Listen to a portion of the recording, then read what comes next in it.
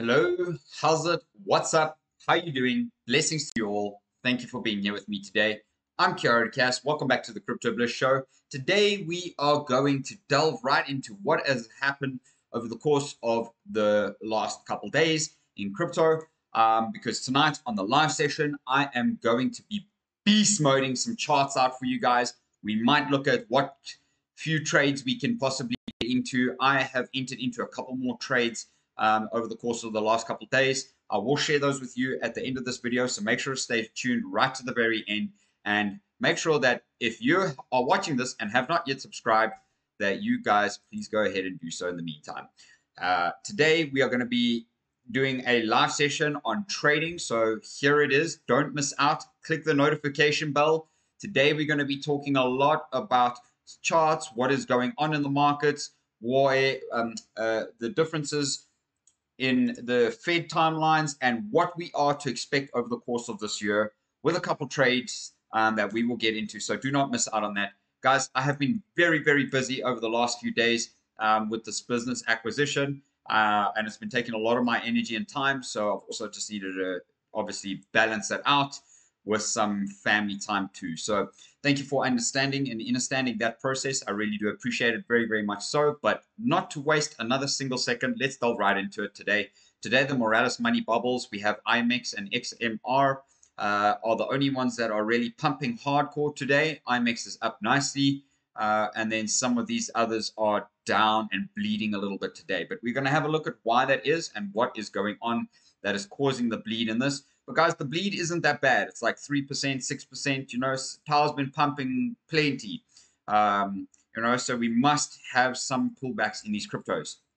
Now, the cryptocurrency market cap today is sitting at 1.866 trillion dollars, which is mag freaking guys. We are literally almost back up at that two trillion dollar level and we are busy knocking on the bull market doors. I will point this out to you a little bit later in the charts and the technical analysis on the video, um, just to give you guys a bit of context as to where I'm going. So you can see here things have been dropping a little bit. There's not much pump in the market today, but we are up with the, the blue chips 1.4% up today.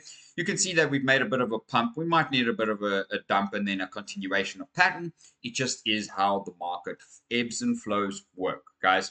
So 82 uh, 82 uh, billion dollars in trading volume and looking even more strong than ever before. Today, Bitcoin is sitting at $48,311, Ethereum at 2,500, BNB at 318, Solana at 106, XRP at 51 cents, uh, nearly 52 cents, Lido 2499, Cardano at 53 cents, AVAX at $38.85, Dogecoin at 8 cents today. Chainlink is pumping at $20, guys. We're now at $20 on Chainlink, guys. That is powerful. Mwah. You know, Shiba Inu just keeps moving down the chain here. I mean, it's... I don't know, guys. You see what I mean? So a lot of the blue chips that are actually functioning and doing what they say that they're doing are remaining up in the top 10. So today the fear and greed index is currently sitting at about 70 after yesterday's 74 um, oh now it's sitting at 74 so i must have refreshed. Um, and yesterday sitting at 72 so we you can see we're actually getting high into the the greed but we last month were in the extreme greed place and that uh, um, territory and that's why we last week had a bit of a pullback and went down back into the greed territory of just 60 now let's go and check out some of the charts. So I showed you guys this chart last week, thanks to CryptoCon. Um, you guys can see that this peak on the flow, this indicator here, I'm not actually sure what this indicator is, but the ebbs and flows indicator, you can literally see that that announced that that was the bottom uh, or kind of the capitulation where we currently are before we make a massive pump up to the upside of when when this indicator pulls back down and kind of crosses over the midsection. Interestingly so, November 28th seems to be the date literally every single cycle, guys. November 28th, for whatever reason.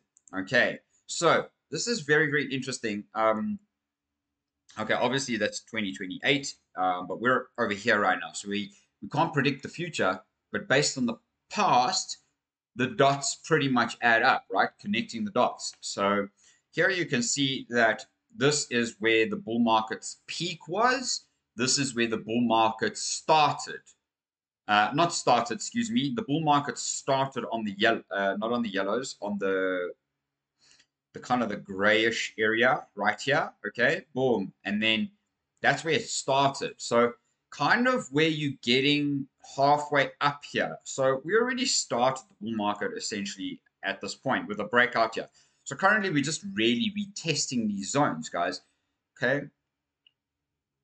We might trade sideways up until just past the halving. And then once we reach that level, boom, smash through, guys. And that we're looking at a, an estimated kind of like $1.2 million level, guys. That's massive. Now here's another chart by um, CryptoCon. Bitcoin early tops, average plus minus 21 days from July 9th. Okay, early tops. So yellows and purples is what they're saying are the early tops. Okay, so cycle three, boom. Okay, we're now in the cycle four where we where we have already passed the zone. May 2024, okay, is this zone where we hit this purple. That's an early top. We pull back and then we pound up to the top up here. And this same chart is pointing out to even $1.4 million a Bitcoin. Guys, I just need to say something to you guys right now. I mean, even if we did go up to like $1.4 million Bitcoin, I mean, the possibility of us coming back down to the 69, 70,000, maybe even 50,000 level, uh, I mean, I wouldn't say 50,000, maybe 55,000 at the next bear market bottom is quite huge, which would mean that you would literally yeah. You know, that is the volatility that happens. But guys, you, you just make money when you buy the bottoms and let your uh, your you know you're buying Bitcoin at the bottom and let it rally. Then you take a bit of profits, you re you wait and you, you re-enter those profits right back in the, the bottom. You do the same thing cycle after cycle.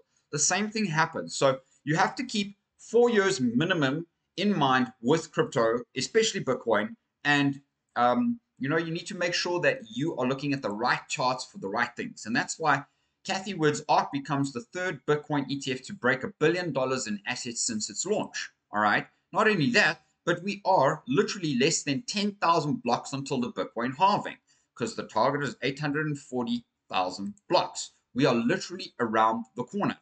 An update from the Bitcoin ETFs had the second biggest day of inflows yesterday buying just under 9,000. Now, this was on February 9th, which was on Friday. Uh, so this was from Thursday's news, guys, and that's why we had this crazy pump up in the Bitcoin price, okay? That's why we had this crazy, beautiful pump up in the Bitcoin price, right? So that's where we currently are. We're going to talk a little bit more about that in a moment. Now, I hope you are enjoying this. And if you are, guys, you know, really smashing a thumbs up on the video helps the YouTube algorithm spread the love of the video and the crypto market right now, especially when you can see where we're going now. Guys, I have crazy stuff to share with you on my live session a little bit later today. Some coins that I personally invested in over the last couple days. I need, and I made 4x on those coins already. I need you guys to know that I'm not here just making videos for you. I'm investing. I've got skin in the game. Okay. And most of my skin is in the game. Something else you need to recognize is that 2024 is the year of the dragon. The Chinese name for the dragon is Long. I shall say no more. So, very, very beautiful picture here. I like it. Thanks, Bitcoin Archive. And Justin BlackRock says that Bitcoin is creating a global internet of value. Okay, well, BlackRock, the biggest asset managing company in the world, is saying it is creating a global internet of value. Guys, if you still don't believe and see this for yourself, I cannot help you, okay? I hope you are watching this because I have been helping plenty, plenty people get into this, make this happen, bring beautiful energy up here. So I hope you guys are enjoying this content, okay? I have a lot more to give this week, I have a lot more free time even though I'm going through training and everything, I have a lot more free time to be able to make sure that you guys are getting the best out of me. All right. There's a lot of altcoins I want to share with you guys. So make sure to hit that notification bell so that you guys know when I release cool content videos for you guys. Altcoins are exploding. I'm going to share the one that I got 4x with, and I'm going to show you the trade, and I'm going to share with you exactly what I did and what happened. Now, just in the Bitcoin ETF flows have bigger than Grace uh, have been bigger than Grayscale's outflows for nine days in a row. So Grayscale's outflows, the biggest one happened there. Then it dropped, dropped, dropped, dropped. That's why we had that drop in the Bitcoin price. Uh, over here, excuse me, over here. And then essentially now, since that point, we have literally had absolute obliteration of buying, literally the entire time. Okay. Now, I might want to actually show you on TradingView one of the the ETFs. Okay, so you can see here, just in BlackRock says that the ETFs are scalable bridge from traditional finance into Bitcoin that enable mainstream access. Guys, read that again. Listen to that again. Tap back, listen to that again. Okay, I'm going to repeat it for you guys. But what I do want to show you is that we literally, this is the BlackRock Bitcoin ETF. Look at what's busy going on. We had a bit of downward kind of pressure here, but ever since we bottomed out, we've had massive gaps up in buying, gap, gap, gap. Okay. Wonder what's going to happen today when the markets open up because the volume has been increasing in their purchases. So I don't see why right now we would not see a breakout out of this level, guys. Very, very simple. If we break out of this level, look what that does. Boom breakout, retest, back up. Super simple. I don't know about you guys, but this thing is gonna fly, okay? That's just just BlackRock, let alone any of the others. So let's draw back to some of the charting now, guys. So as you guys can see here, we broke out of the inverse head and shoulders pattern, which the neckline was here. We hit the target pretty much uh, right at the top here. We're kind of looking for a little bit of a way down right now. But if I go to the weekly chart, and I show you what that weekly candle looks like, guys. The weekly candle had pretty much a little bit more volume than the previous week's candle, but not more than the last week's candle, which was there. So interesting what the candle itself looks like in comparison to the volume. And this is something traders need to look out for, okay? Because we actually have a topping tail, a wicking candle here, so just like I showed you in my video over here, where you have people like Jim Cramer who openly and honestly tell the market that they literally go check this video out. I will leave it pinned in the comments above for you guys. But they literally tell us that they are um, manipulating and twisting the market. So I don't see why they wouldn't do it in the same kind of manner. So, but they'd need quite a bit of money here. I mean, a couple hundred million, not a, a few billion. Uh, uh, sorry, not a few million, like 5 million, 3 million, like he's talking about. But essentially, you can see that this pushed the market up. We closed, eh, we engulfed all of these except for this puppy here, which gave us that wick. Now, right now, in order for us to kind of get above this level, my green line, as you guys can see, are actually the bull market doors. So if we do not get above that level, and remain above that level, the likelihood is that we will be um, probably ending up at a little bit of a reversal pattern back down here. Now, do I think that's going to happen? I don't quite because once we start to rally in Bitcoin, you can see that we literally just keep rallying. So the same thing here where we met the bull market windows, yes, we had some sort of pullback, okay? So I wouldn't be surprised if we pull back to my white line, guys. My white line is $41,000. Right, That's not terrible, okay?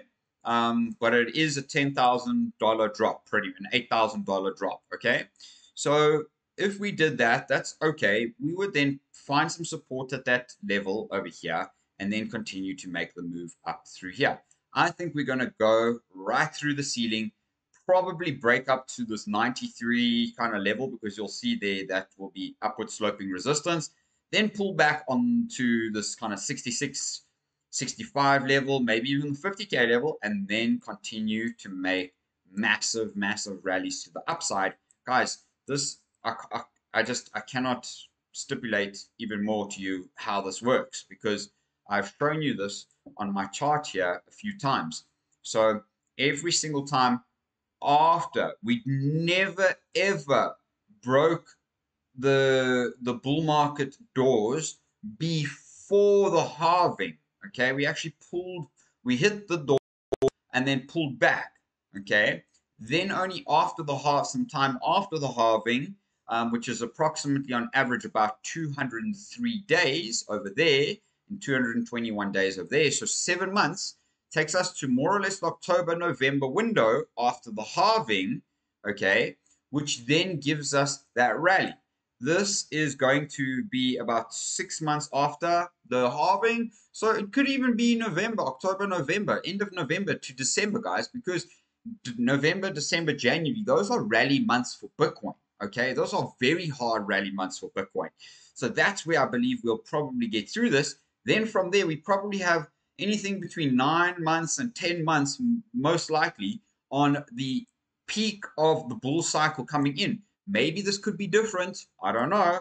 But you, we will see my predictions on these charts going through time, uh, with some time. So, guys, I hope you've had fun there. Now, lastly, here, I'm going to show you before I show you my trades that we are currently getting into a very, very, very beautiful position right here on the altcoins. Okay we have managed to literally break out of this area. We're now finding, we're going to pull back here, finding some support. You can see there's a bit of sell pressure. But right now we have a shoulder, a head, and a shoulder, which we have not yet broken out of, okay? This is somewhere around this area is the neckline.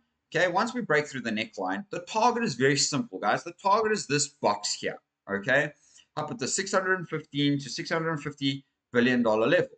Once we've reached that, the same thing.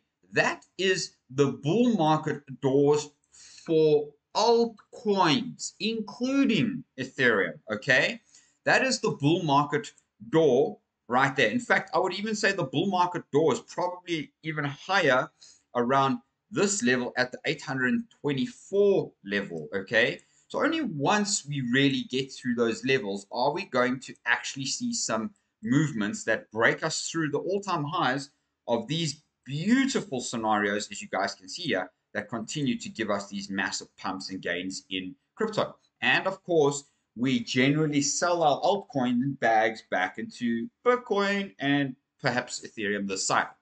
Uh, if you guys are enjoying it, please make sure to subscribe to the channel. That would be truly appreciated. Let's go and have a look at our charts here. Uh, our charts and our trades today, you guys can see what is going on, where I entered, so that you guys can get a good indication of what it is that I've been doing. So currently we are sitting right now in uh, the Bitcoin trade. As you guys can see, my Bitcoin trade, I got in all the way down here. We have literally been enjoying the rally all the way up to its current point.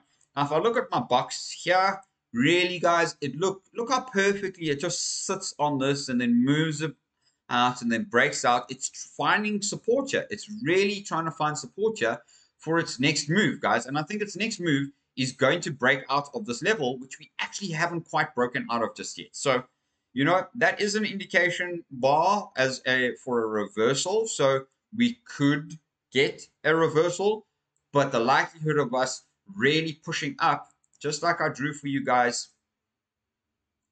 um, down here, actually on the daily time frame,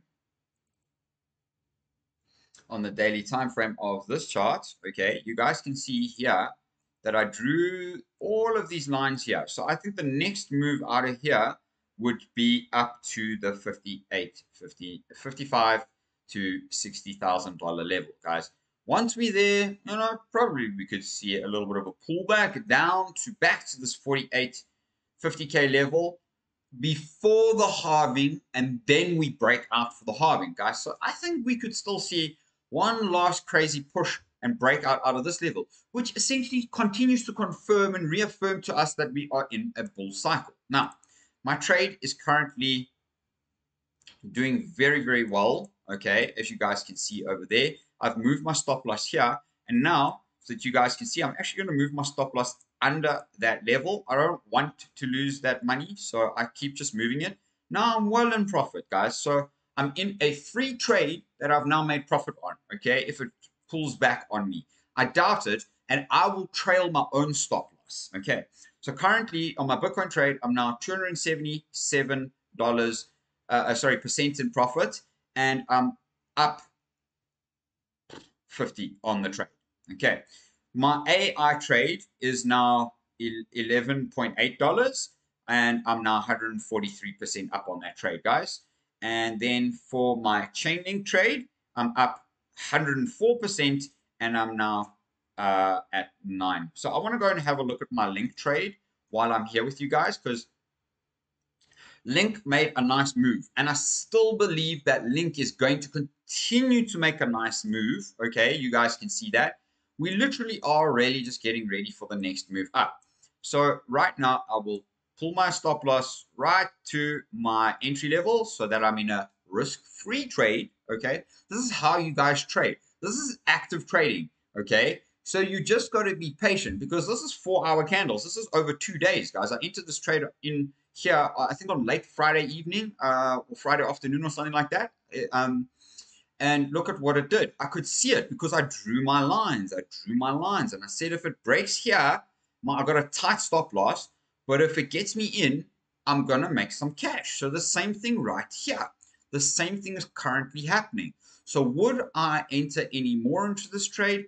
Yes, very likely, guys, because very honestly, I think on the Chainlink side of things, you can see that we're getting ready to make some busts up.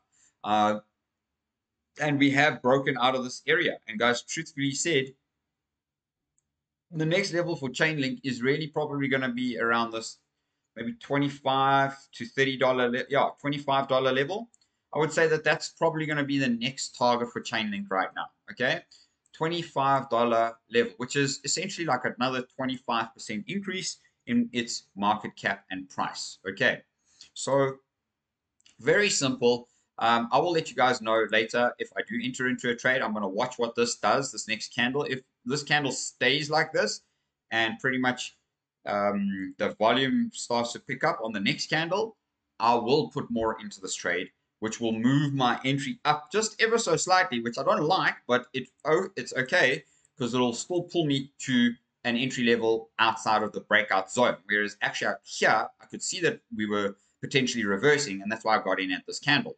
So very simple trading tactics um, to make some money. And I hope you guys enjoyed that.